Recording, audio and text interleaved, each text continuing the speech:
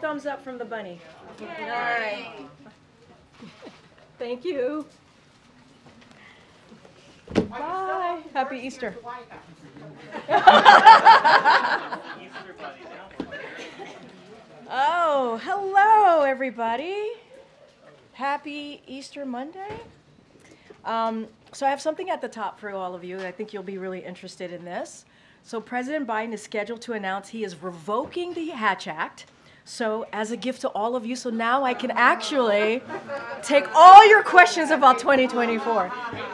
No? I thought you would love that. All right, okay. April Fools, April Fools, April Fools. It is April 1st. I thank you. I thought that was pretty. I thought it was pretty slick of me. Thank you very much. Thank you. All right.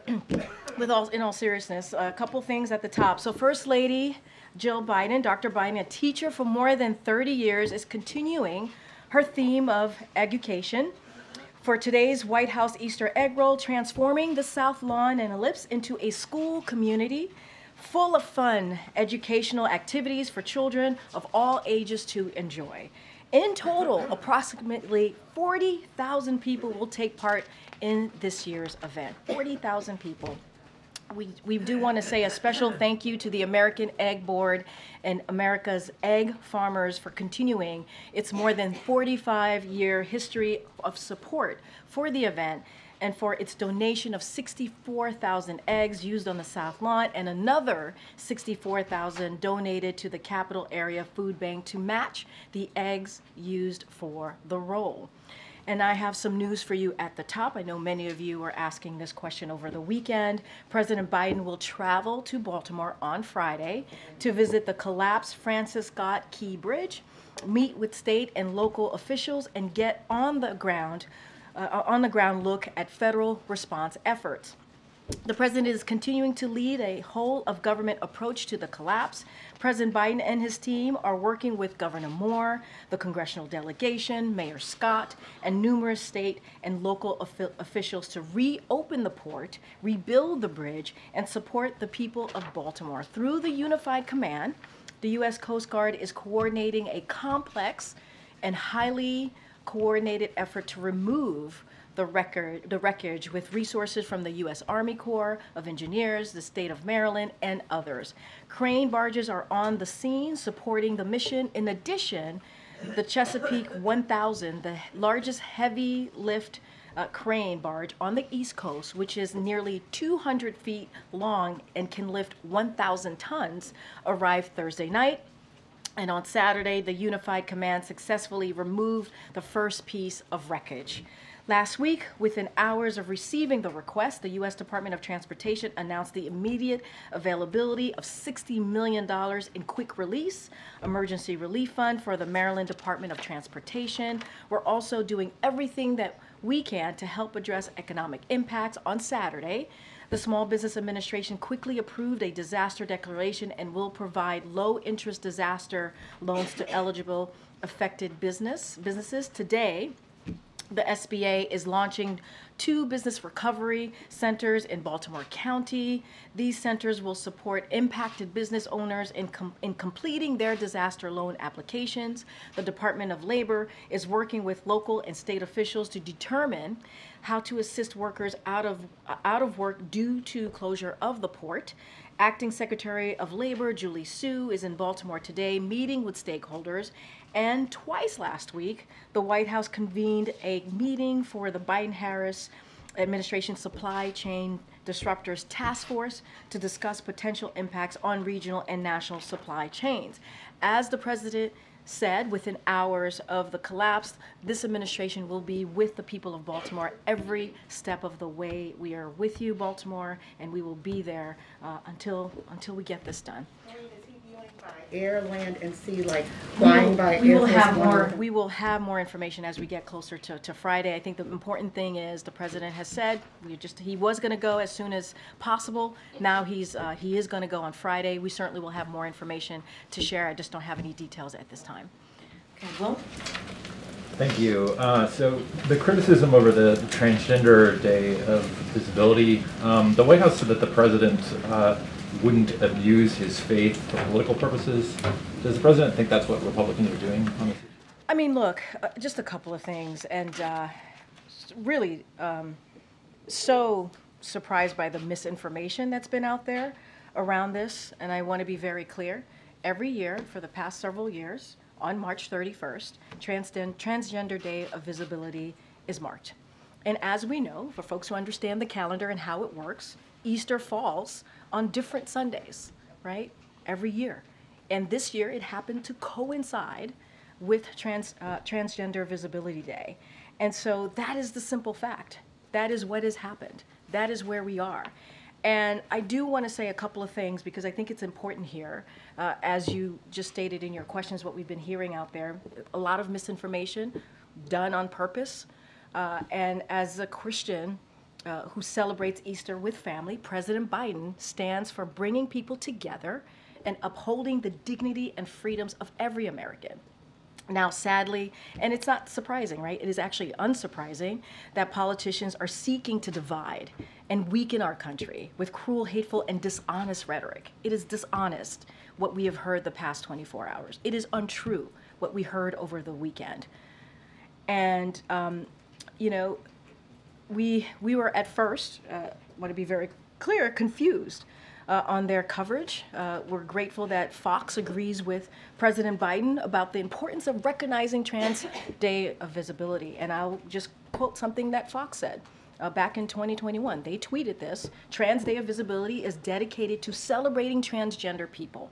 To all the transgender men, women, and non binary folk, we see you and stand with you. President Biden will never abuse his faith or for political purposes or for profit. That is not what this administration is about. That is not what being a leader is about. And this misinformation out there is just, it's just, it's bad. And it is dividing, it is caused to divide us. And I want to say one more quote. Uh, this is uh, what Politico covered every year. And I said this at the top of my answer Transgender Day of Visibility is on March 31st. This year, March 31st, just so happens to be also Easter, the date of which changes every year. That's how I started out, and that's how I end. Thank you.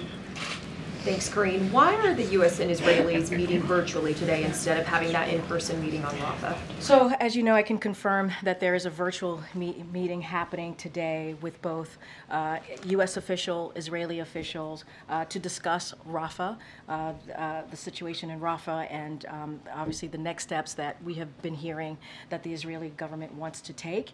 Uh, this is this is following the discussions that we we all talked about last week with the uh, Israeli Minister of Defense and his delegation. Uh, and this conversation today is being led by National Security Advisor uh, Jake Sullivan. Look, I think it's important to note that we were re- we were able to reschedule this on Friday, and we wanted to move very quickly on this. And today, it, the, the meeting is happening virtually because we understand, and obviously you all understand, how important it is to have uh, this conversation. We've been very clear about our concerns about a military operation into Rafah. We know that there are more than a million uh, Palestinians who are in Rafah right now, who moved from the north uh, to go into Rafah. And so we want to make sure if there is going to be a military operation, we also know that there are Hamas operators in Rafah as well. But if they're going to move forward with a military operations, we have to have this conversation. Uh, we have to understand how they're going to move forward. We, and I'll say one more thing. When Jake Sullivan was here at the podium, uh, not too long ago, he believed and he said there are alternative alternative ways of doing this, alternative ways of going after Hamas. And so they're going to have the discussion. I think it's important that it happen as quickly as, as it did, even though it's virtual, and we'll certainly have more to share. Are there still in-person meetings planned, and if so, We- when this We week? will have more to share on the next steps. We're going to have a readout of this conversation, but I think rescheduled on Friday, today, Monday, we're having a conversation. We, we have laid out our concerns about this for some time, and I think it's important uh, that both sides are, are having this discussion. Just Lastly, Speaker Johnson said there would be a vote on Ukraine soon when the House comes back from recess, but he said it would include some innovations, like making some portion of it a loan. If that's the only way to get Ukraine aid passed, would the president sign that kind of bill? I'm not going to get into hypoth- hypotheticals here. We've been very clear. We believe that the Speaker were to put the national security supplemental on the floor, obviously inclu- includes Ukraine, humanitarian aid, Israel, the Indo-Pacific. Uh, We believe, and it is fact, uh, that uh, it would get majority uh, bipartisan support on, on the floor in the House. We saw 70 to 29, it passed out of the Senate bipartisan support, overwhelming bipartisan support. We believe it would get overwhelming bipartisan support if he would put it on the floor. That's all he needs to do. And so that's what we believe the, the speaker, how it should be moved forward. I'm just not going to get into hypotheticals. Go ahead. Do you expect specific decisions to come out of the Rafah meeting today, Karine? I'm not going to get ahead of the meeting. We will have a readout of, uh, of, of that meeting. I'm just not going to, I'm not going to get ahead of it. The the Israelis bombed Iran's consulate building in Damascus today, apparently killed an Iranian military commander. Did you know about this in advance? Are You concerned this is an escalation? So, look, I'm aware of the reports. Our team is looking into it, so I'm not going to get ahead of, of anything just yet. But obviously, we're aware of the reports, and our team is looking into it. I'm just not going to go beyond that. If I could, uh, do you have an update on how to pay for the new bridge? Have you, have you had conversations with House Republicans about this? So, as, as I mentioned at the top, um, we, uh, D- Department of Transportation was able to uh, release 16, $16 million, which uh, obviously is going to be really important, uh, a kind of a down payment, if you will, on getting, uh, on dealing on, on getting that bridge rebuilt. Uh, We're going to have continued conversation with the state of Maryland uh, to get a sense of how much uh, this is going to cost. And we have said uh, we're going to uh, certainly continuing to talk to Congress uh, to get some assistance here. The president has been very clear. He's going to be there for the people of Baltimore. This is a whole of government approach, uh, and we are going to do everything that we can uh, to make sure that that bridge gets back up. Uh, I don't have anything further to share on congressional uh, conversation, but that's a commitment that the president has made. Okay. Thanks, Karine. Uh, 60 Minutes reported last night on a connection between anomalous health incidents and a unit of the Russian uh, military intelligence service. What's the White House uh, reaction to that report. So I'm going to be really careful here. Uh, The intelligence community has not concluded that. Obviously, there was an assessment that intelligence community made, and so I would have to refer you to the, to uh, ODNI on their assessment. But that particular piece about Russia, uh, I know that they had not concluded that. Right. And I I know that the, the intelligence community has uh, said that it's, they still think it's un- not likely that uh, a foreign power is responsible. How can the administration continue to believe that when you have so many credible U.S. officials who have experienced this saying otherwise? So look, this is an intel- uh, intelligence community assessment. ODNI and I can speak specifically on how they got to that assessment, how they got to that conclusion, so I want to be super mindful. What I can speak to is what we have done since 2023, since the intelligence uh, committee assessment, uh, and we have taken this very seriously. The president takes U.S. personnel, uh, making sure that they are protected is the most important. A couple of te- steps that we took, we prioritized investigations into the cause of AH- AHIs and to examine reports thoroughly. Now, this is something that the president directed the departments in the federal government, obviously across the federal government, to do. Ensure that U.S. government personnel and their families who report AHIs receive the support and timely access to medical care that they need, and and uh, to take reports of AHIs seriously and, and and threat to personnel with respect and compassion. So we have taken some actions that will uh, that um, that the president directed his agencies across the federal government. At any specifics to the intelligence assessment, I would have to refer you to ODNI. And yet the Pentagon confirmed another aspect of 60 Minutes reporting today that a, uh, a Department of Defense official who was in Vilnius for the NATO summit last year also experienced what appears to be AHI. Can you give us any update on that person's condition? I don't have any update. I, I'm very careful about speaking to any personnel. Um, uh, specific case, so I can't, I don't want to do that from here. Uh, I would have to refer you on Department of Defense since that came from the Department of Defense. Bottom line, are U.S. officials who are working on issues related to Russia, particularly overseas, are they safe?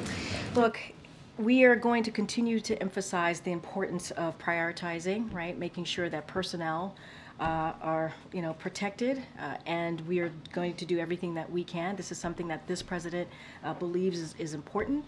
Uh, and so, look, we're going to get to the, we're going to continue to do a comprehensive examine, examination of the effects here that we're seeing and the potential causes of AHI. That's something that we're going to continue to look into. And look, we take this very seriously. We take this very serious. This is why we have taken an all-government approach and, and have directed agencies uh, to do the, the three things that I listed out. Uh, and um, you know, it, it, this is this is important. We see this as a as um, uh, as a important uh, issue that we want to to certainly uh, prioritize, and that's what we have been doing since 2023. Yeah. Thank you. Is the president hosting an IFTAR dinner tomorrow? So I don't have anything to confirm uh, here. Uh, As you know, uh, very early on this month, we put out a statement uh, marking the first day of uh, Ramadan. Uh, This is March, obviously, we did that. The president wishes all who observe uh, Ramadan a safe, healthy, and blessed month.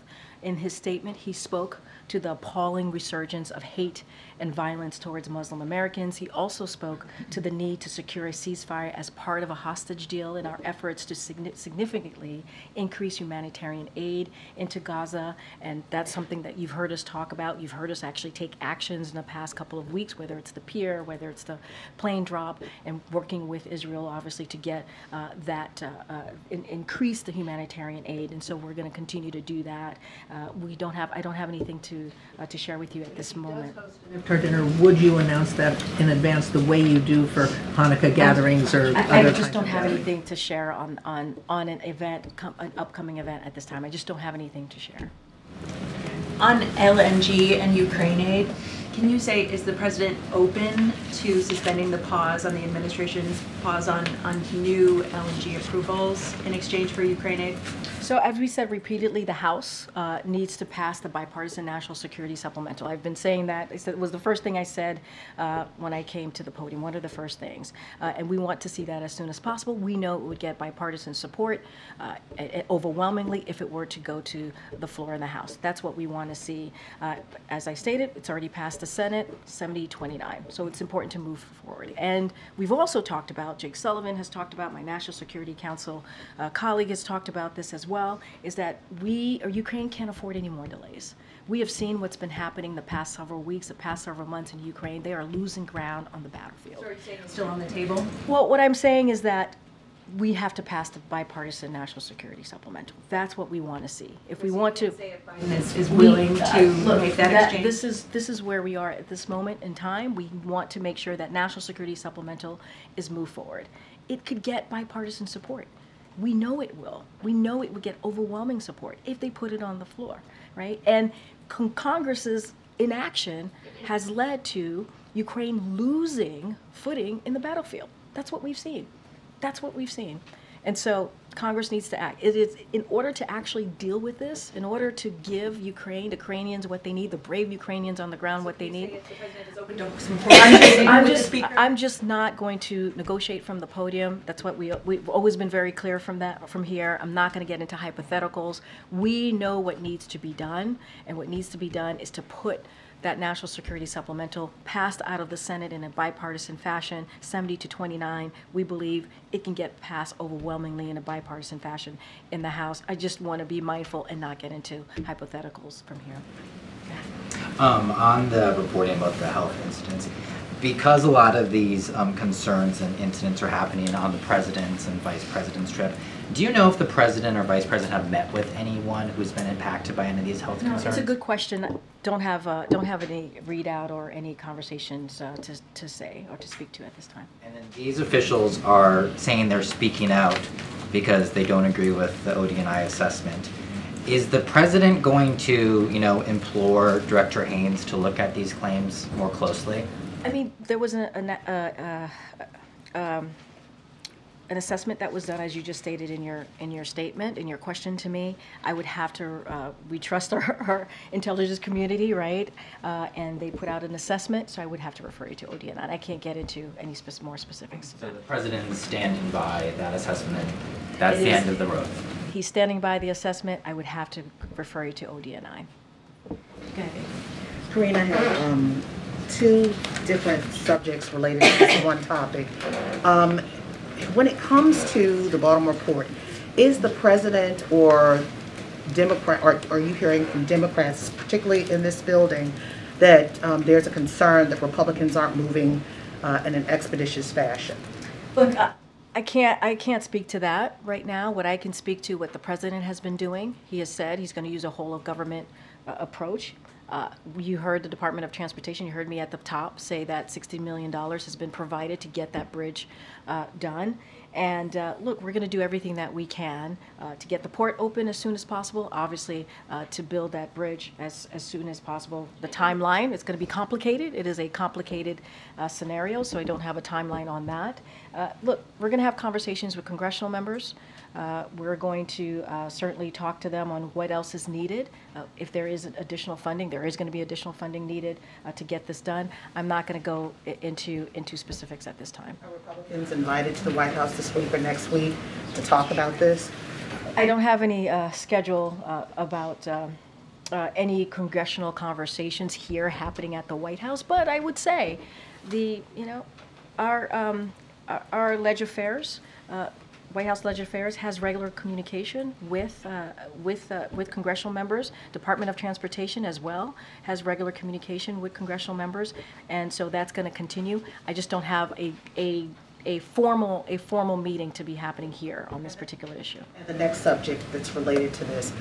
After all of us, the world watched how that cargo ship, that multi-hundred ton barge ran into the pillar, is there a concern about assessing um, bridges um, that deal with these kind of things around the nation? Has there been talk about that? Because this was, yes, it was catastrophic, but this government seems to be very reactionary. When something happens, it jumps on uh, to try to fix it. Which I think is a good thing. I think when something happens, the fact that this administration jumps on top of it and tries to make sure that uh, we don't forget the communities, we assist, uh, and we get uh, communities put back together, right? The, the bridge is, is something that the Balti- people of Baltimore are feeling very uh, acutely. And so we're going to certainly do everything that we can to get that bridge back up and to get the port open. Look, but as you're asking me about bridges and, and certainly infrastructure, uh, no, but that's why the bipartisan infrastructure legislation was so important. Let's not forget that infrastructure law is now going to really deal uh, with infrastructure in a generation. It is something that is a, an investment in our infrastructure, not just bridges. We're talking about tunnels, we're talking about roads, right? We're talking about broadband, right? These are incredibly important and creating jobs, creating good paying union jobs. Uh, and so that is what the president has said he was going to do. The last administration turned it into a joke. It was infrastructure week every week, and he did absolutely nothing. And so this administration was able to get a bipartisan infrastructure law done. And so we are we are proud to have been able to do that. Obviously, it's going to speak to the bridges. It's going to speak to bridge uh, to. Uh, to roads and tunnels, and I think that's important that that was able to get done uh, within the president's first term. Thank you, Karine. Um, international doctors has been describing horrific scene at the Shifa Hospital where 300 bodies were found. Some were tied up and executed, including doctors, women, and children. Is the White House calling for an independent investigation? Um, and second, do you believe that Israel is in violation of international law? And just on another topic, the Israeli Knesset, the parliament, just passed a law banning international media from working in Israel. You always call Israel as an ally that you share value with. Is this a value that you share with? So a couple, you asked me two very important questions, and I want to get to, to them. So as it relates to, and I, I think you're speaking uh, specifically, at least the reports that we've seen is about Al Jazeera, Zero specifically, but it doesn't matter, whichever, right, journalist more broadly. Uh, but at, to those particular report, uh, we've seen the reports, and certainly I'm going to refer to Israel for what they may or may not be considering. But uh, it is, if it is true, if it is true, uh, a move like this is concerning we believe in the freedom of the press. It is critical. It is critically important, and the United States supports the critically important work journalists around the world do.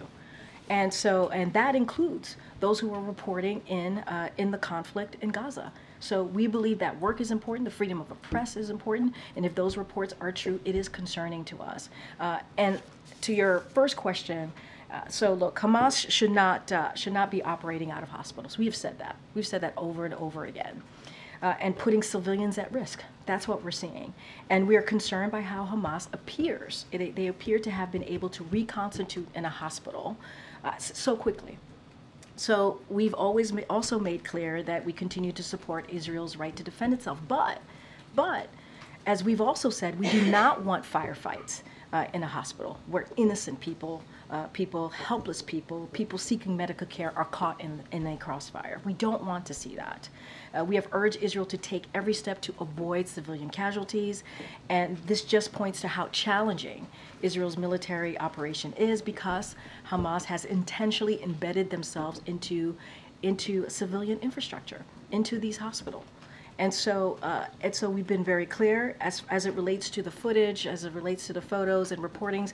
We have not verified that footage. We're, we're going to we're reaching out uh, to the Israeli uh, government to get more information. But obviously, if these reports are true, that is indeed deeply concerning. The difference between the civilized world and uncivilized world is sticking to international law at the time of war. So regardless, even if these people were Hamas, do you believe that under international law, Israel has the right to execute people, even if Hamas, which you consider a terrorist organization regardless, you can't hold them to the same standard as a professional army that often the White House praise as a professional army, they know what they're doing, and even sometimes you said, I wish the US Army behaved like the Israelis. I hear your question, and I have said it is deeply concerning if it's true. We are reaching out to Israel uh, government to get more information. Uh, and that is also important to do. We have to make sure that these, this, what we're hearing uh, is verified, right? That the footage is also uh, verified. But we've been very clear. Like this is, we also have to call out Hamas here. They are operating uh, out of hospitals, out of hospitals. That's what they're doing. They're embedding themselves in civilian population. This is what they're doing. Uh, and so we have to be also very clear about that. And we have said we've urged Israel to take every step that they uh, to avoid uh, civilian casualties. So we're going to re- we're going to reach out to the Israeli government, get more information on that. And it is if that is indeed the case, it is deeply concerning. It is deeply concerning. Um, thanks, Karine. Just kind of going back to the LNG pause for a minute. Uh, In January, when the pause was announced, the president put out a statement and he said, this pause on new LNG approvals sees the climate crisis for what it is, the existential threat of our time. Does the president still believe that that LNG pause is so necessary? Uh, Nothing has changed. Nothing has changed in our in our in our posture on LNG. Great. Okay. Good job. Thanks, Karine. Back in 2007, there was another deadly bridge collapse. It happened in Minnesota, and days after Congress reacted, they passed the funding uh, to replace that bridge. Is the president disappointed that there isn't that same sense of urgency as it relates to the Key Bridge in Baltimore? So look, what I can speak to right now in this time, in this moment, is the what what the president has promised. A whole of government approach here, uh, response. That's what you've seen. Uh, the Department of Transportation was able to provide 70, 60 million dollars just last week. They made that announcement. Uh, you heard me talk about that at the top. And we will, of course, of course, we are going to work with Congress to ensure uh, that we have the, the resources, right, needed uh, so that we can make sure that this is fully covered. The rebuilding of the bridge is fully co- covered. Uh, I'm not going to go beyond, uh, beyond that. We're going to have those conversations. Uh, We're going to make sure that uh, we are there for the people of Baltimore. That is the president's promise. He said that the federal government is going to fully pay for that, and he's going to stand by his word. Thank you, Karine. Um, also about Baltimore, uh, the six victims of the collapse of the bridge were Latino from Mexico, Guatemala, El Salvador, and Honduras. Is the president planning to meet with the families of the victims? And more broadly, what the White House is doing to help these families that now are facing difficult decisions, for example, where to hold a funeral? Because some of the family members cannot leave to their home country, some others cannot come here. So, what are you doing to that? So, um, going, going to give you more about what the president's going to be doing on Friday and the next upcoming days. We'll have more details to share to all of you. Uh, and so I'll leave it there about what, uh, what, uh, what we're going to be doing on that day. Uh, as it relates to the family members, you uh, may have heard Tom Perez last week met with a couple of the family members when he was in Baltimore. He did a press conference and talked about that and laid that out. Uh, so certainly we've been in touch with the family members. Uh, I just want to be super careful, um, and you know they are mourning at this time, and so I just don't want to go beyond that. Is the White House considering some kind of parole to let the people I don't have anything beyond beyond that. Okay. Just a couple more on Baltimore. Um, You went into it a little bit at the top, but what does the president hope to get out of the visit on Friday? Like, what does he want to see and what does he want to hear when he's there? So look, uh, I, you know, uh, sadly he he's done these kind of um, uh, kind of visits. Not obviously uh, not this dramatic with a bridge before, but he has been there for communities when they've experienced a traumatic uh, event like the people of Baltimore have. And I think it's important for him, for for uh, for people to, for for folks who are working on the ground, whether it's the first responders who were there in the first couple of hours or the folks who are there now, to see from from to see the president, to hear from the commander in chief, to know that he appreciates the work that they've been doing around the clock, to also be there for the community. You know, we've seen Governor Moore, we've seen the mayor uh, do everything that they can for the community in this time. And so the president wants to be there as well. He's going to be, Governor Moore is going to be joining him. I can share, share that with all of you, and certainly we'll have more beyond that. Um, and so I think it's important for when, when something like this, when something this traumatic, six people died, a community is affected uh, by this bridge, uh, to have the president be there. Uh, and so we know that there's a whole of government approach happening here, a response, uh, and uh, and so the president's going to see for himself uh, what happened, uh, see for himself the work that's being done. Uh, I don't want to get ahead of what that's going to look like. I know I was asked if he's going to do it by air or land. I just don't have any details at this time. And see. True, and see, uh, we'll have more details to share if the family members are going to be there. We just have more detail to share. Obviously, he'll be there with Governor Moore, and he will assess himself and see for himself and hear directly uh, from uh, from the people who are on the ground doing the work. Governor Moore and Mayor Scott were facing personal attacks in the wake of the bridge collapse last week. When was the last time the president talked to them, and did they talk about that? What's the White House response to So that? look, I, I think Governor Moore said it perfectly on Sunday. We do not have time for this foolishness. We just don't. We don't have time for this foolishness. And uh, our focus is reopening the port, making sure that bridge uh, gets rebuilt, uh, making sure that we are there. We are there for the people of Baltimore.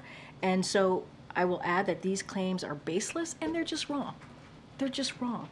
And uh, we're not going to let uh, these misinformation, disinformation, uh, these horrible statements that are being made distract us from the work that the people of Baltimore want us to do.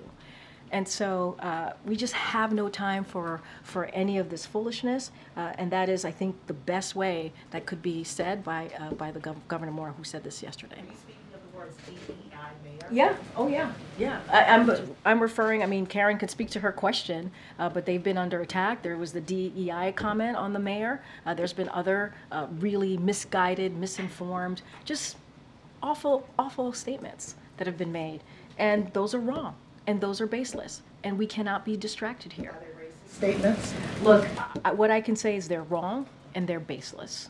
And I think that that's pretty, that goes pretty far, right? And let's not forget, six people, six people lost their lives. Six people lost their lives. Yeah, Jared.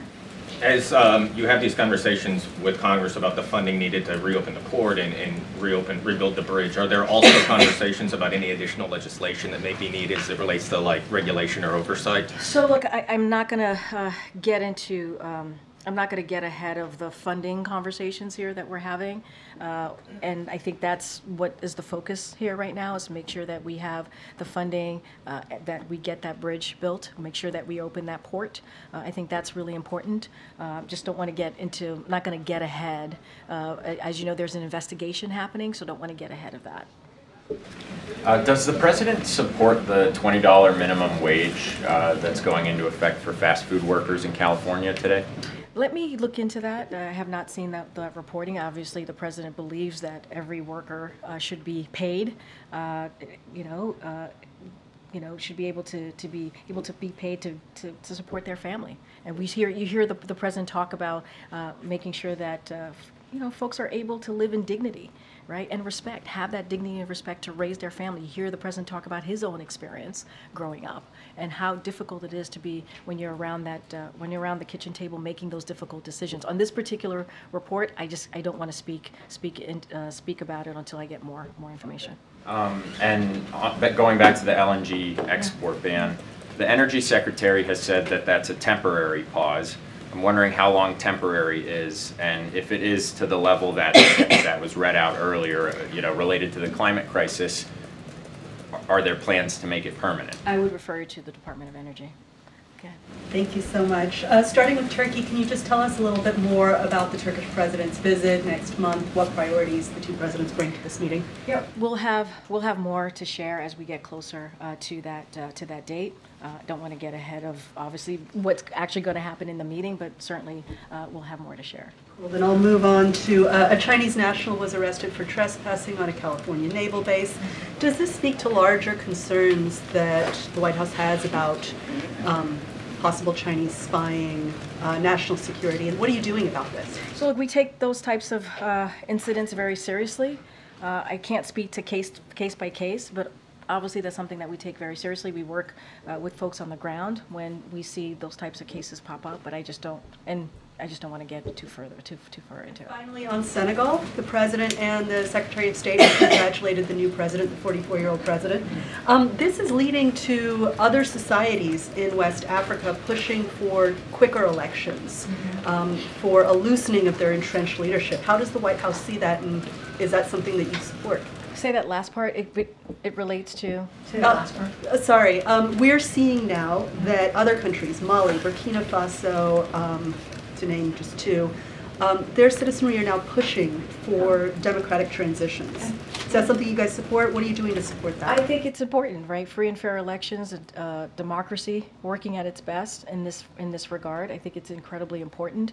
Uh, I c- that is, you know, that is something for each individual uh, domestic uh, country to uh, decide on on. But I think it's important to have free and fair elections. Let the civilians, let the people decide uh, who's going to represent them. I mean, that's something that we have said multiple times on every election. Will the president post his new Senegalese counterpart? I don't have a, a call to read out or anything to speak to at this point. Thanks, Karine. Most of the border crossers accused of beating up Texas National Guardsmen in a riot last month were released on their own recognizance Sunday. How does that make people in this country any safer? So I have to refer you to Department of Justice and DHS on that uh, uh, particular um, uh, reporting. Uh, I will say this, uh, as the event unfolded, uh, the Border Patrol was able to act quickly and get the situation under control and apprehend the migrants. And we were grateful that the Border Patrol was able to do their job. Look, there is a challenge at the border, right? Our immigration system has been broken for decades, before even before this president became president, obviously, three years more than three years ago.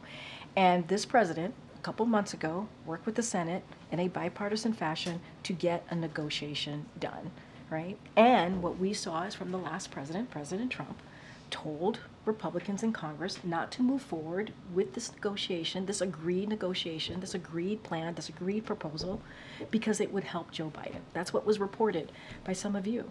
And we can actually deal with this. We can actually deal with, with what we're seeing. And because they didn't move forward, right, because they didn't move forward with this proposal, because of the last president, and because they, they put politics in ahead of the American people, we are seeing chaos. And so we want to get this done. We did. We worked with Congress to get this done, to deal with the challenges at the border. President Trump got in the way, and because President Trump got in the way, Republicans are now getting in the way. So, does President Biden wish that Republicans in Congress would help him make a law that made it easier to deport people? What the president wants to see is he wants congressional Republicans to pass, to move forward with a bipartisan border security agreement. A bipartisan border security agreement that was supported by the Border Patrol Union, U.S. Chamber of Commerce, something that we don't see nowadays. And we were able to get that done. What the president wants to see is that being passed. He wants congressional Republicans to not put politics first, to put majority of Americans want us to deal with this issue. That's what the president wants to see. Totally different topic. How worried do Americans need to be about squatters? About squatters? About squatters, there's a lot of stories out there. Homeowners are showing up at places that they own where the locks have been changed. Some squatter has moved in and the homeowner has no rights. Does President Biden think that is right? So, if, if my understanding is that this is obviously uh, uh, a local issue, we are certainly tracking that issue. Uh, the rights of property owners and renters must be protected, and we believe that uh, you know ultimately. What needs to happen is the local uh, government needs to make sure that they address this and they take action. And so everyone in their community uh, in this country wants the same thing, right? They all want the same thing. They want their families to be safe, and that's what we want as well. We want to make sure that Americans and their families feel safe. In Florida, there's a new law where victims of squatting can call the cops and have the squatters removed. Would President Biden support something like that? I'm, I'm not going to get into into uh, into hypotheticals from here. Uh, what I can say is that uh, ultimately this is a local issue, and it is uh, critical that uh, that local governments take action to address it. Uh, again. Everybody wants the same thing. They want to feel safe in their communities. That's what they want. Uh, we certainly are tracking these stories. Uh, So last week when uh, Secretary uh, Pete Buttigieg came, he talked about uh, the Baltimore bridge collapse uh, will be affecting 8,000 workers. I was wondering if the White House had any plans for these workers. So I know that the Department of Labor, uh, the acting secretary, Julie Su, is certainly uh, working on top, is on top of this. Uh, So uh, I would refer you to uh, the Department of Labor on what they're doing specifically uh, to make sure that workers uh, are certainly, um, uh, uh, are, are, you know, their, their needs are being addressed. Uh, But want to be really clear, we're taking all of this seriously, right? We're, we're taking, uh, this is a whole of government approach. And so Department of Labor has, has, has had uh, meetings with stakeholders, as I said at the top, and looking into this and trying to figure out how we can be helpful here. I know I could do one more. Yeah, go ahead. Thank you. I wanted to ask about Adeel Mangi, who's nominated for a seat on the circuit court. Can you talk about what you all are doing specifically to get him confirmed Which- after? which- which- Mangi is his last name, Okay. M-A-N-G-I. Um, there were three Democratic senators now who have said they won't vote for his confirmation. Are you all doing anything specific to change their minds? So, look, we, uh, um, I, I don't want to speak, speak specifically to members, but I have said this many times before. The president was very proud to nominate uh, Adeel Mangi, whose extraordinary qualifications and integrity are gaining him new backing each day, uh, as well as retired Circuit Judge Timothy Lewis, who was appointed by President George H.W. Bush. That's somebody who has supported it. Uh, he is now being backed by nearly a dozen law enforcement organizers, as well as former New Jersey uh, Attorney Generals, Attorney Generals, and uh, former U.S. attorneys who served under Republican and Democratic governors and presidents. He's also backed by the AFL and CIO. Uh, we are doing everything that we can uh, to make sure that he gets through. Uh, this Senate should side uh, with qualities that make America exceptional, which Mr. Mangi embodies, not the hateful forces that we're seeing uh, trying to, to force America into the past. And so we're going to continue uh, our, our office here. Uh, the president's going to continue to do everything that we can to get him through. We believe he's extraordinarily qualified. Uh, to um, uh, for this position, the president is proud to have nominated him, and we're going to continue to do the work. Okay, Brian, you're last one. Thanks a lot. On the Key Bridge in Baltimore, the Key Bridge collapse, and the impact that it's had on the Baltimore port, does President Biden want Americans to be prepared for any supply chain problems? So you heard us, you heard me at the top lay out the meet, some meetings that we were able to do. The task force met uh, a couple times last week. Uh, as you just stated, the port is is one of the nation's largest, as, as you were alluding to, uh, shipping hubs, and and the Francis uh, Scott Bridge is critical to travel in the Northeast corridor. So we have engaged in, in, in intensively with industry, ocean carriers, ports, and labor unions to minimize disruption disruptions as shipments are rerouted uh, while the, the port of Baltimore is closed to, to uh, ship traffic. So the Small Business Administration has been quickly activated, obviously. I said this at the top. You have the Department of Labor uh, as well. Uh, This is a whole of government approach. The Department of Transportation, we had the U.S. Co- Coast Guard uh, um, uh, Admiral here that was able to, who's running that effort, obviously, to, to deal with the cleanup and what we're seeing there um, at, in Baltimore. And so we are going to be there for the people of Baltimore. That is what the president has said. We're going to be there every step of the way. You're going to see the president uh, on Friday. Uh, we'll have more details to share as we get closer to that day. Uh, but all of government approach, Small Business Administration, Department of Labor, Department of Transportation, we are going to be there for, uh, for the people of Baltimore. What's the President's current assessment on supply chain disruptions? Look, we're obviously going to be monitoring this. We're going to be looking closely into that. Uh, and that's why we have uh, activated, the president has made sure uh, that we're doing this in a, in a, um, you know, in a strategic way, in a smart way, uh, and dealing with all the stakeholders uh, that's going to be affected by this. All right. Thanks, everybody. I'll see you tomorrow.